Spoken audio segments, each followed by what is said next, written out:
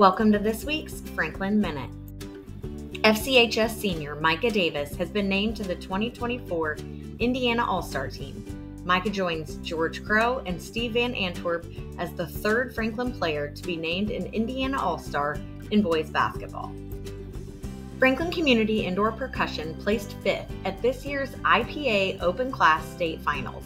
Next, they'll compete at the Winter Guard International World Championships.